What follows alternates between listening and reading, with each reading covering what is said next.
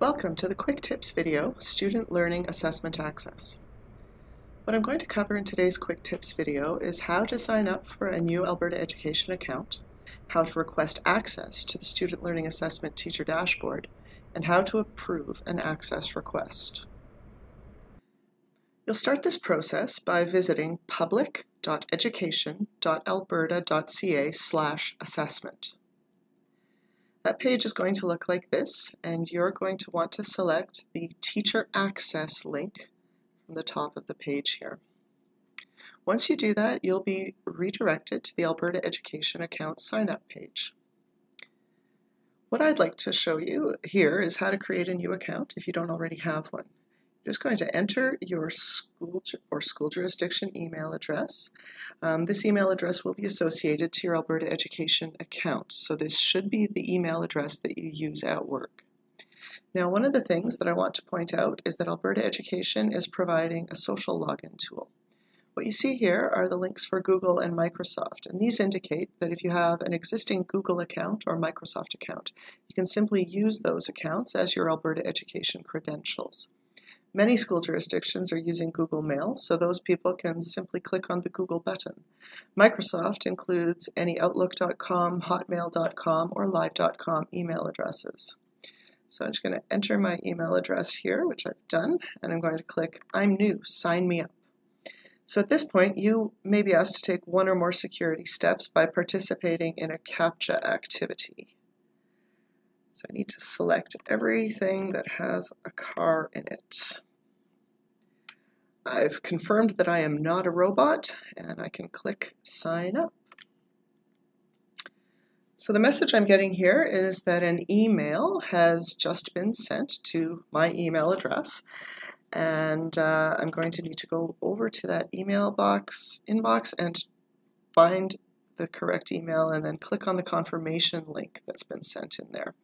And that will complete my Alberta Education account sign up. The email that you're going to receive will look like this. And you can see the confirmation link at the top along with some other useful information for you. So I click on that confirmation link that's at the top of the email. And this is going to take me to the next step of the process. On this page, you're going to be asked to enter a screen name and a password for your new Alberta Education account. So I'm going to enter my screen name. Now remember that this screen name is how people in the application are going to see you. Uh, once I've got a screen name in there and it's been accepted, I've got the little OK, and now I need to create a password. My password needs to be at least eight characters long, contain both upper and lowercase letters, and at least one non-letter. So,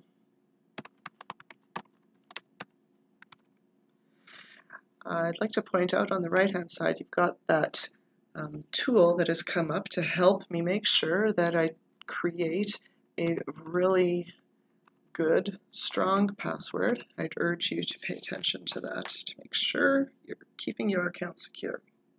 So I've been taken to the next screen which is where I am going to fill out a form basically that's going to be sent through to my administration who are going to approve my access to the Student Learning Assessment Teacher Dashboard. So the first thing we'll need to do is you'll need to indicate what type of organization you work for. So I choose my school board from this particularly long list. Uh, once I've chosen my school board, next thing I'll do is select my school. Following that, I'm going to confirm that yes, this is my business email address. So if that's correct, I'm going to check off the check mark. I'm going to put in my first name, then my last name, my job title, and my phone number.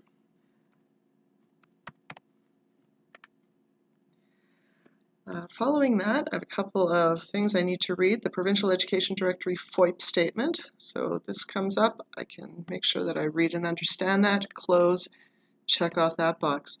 Uh, following this, the terms of use. Again, you're going to want to open that up, read carefully through it. And then check off that box. Now, which education apps do you need access to? Today I've come here for access to the SLA teacher dashboard, so I'm going to click that and click on Start Request.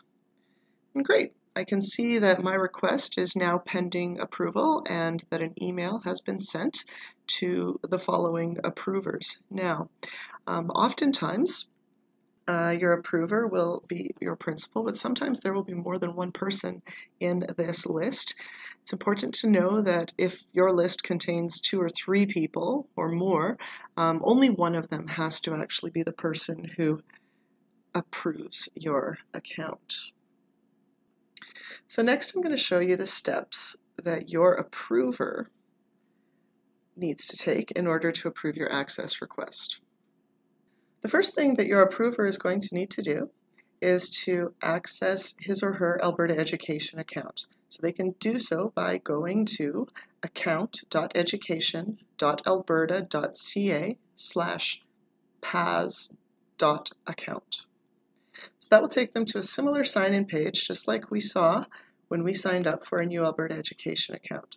So now what they need to do is sign in with their account information, their email, and password.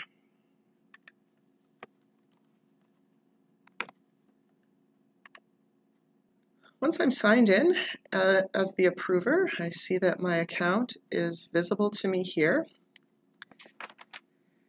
And everything looks correct and right. I'm going to scroll down to the bottom and I can see there are some profile requests awaiting my approval and there's a number beside it. This tells me how many are, are waiting to be approved. Looks like I've got one. I'm going to click on it and I can see um, the email of the person, their name, organization, the role, when they requested it, and I can then determine, you know what, I think I'm going to look at a little bit more detail here, so I can click on View Request, and it's going to give me a little bit more detail about this particular request. I can see that this person has requested SLA teacher access, and now as the approver, I'm going to be able to either give them that approval or not. So uh, you can see that there are a number of options at the bottom. You can approve the request, you can reject the request, or we can reject and report as suspicious.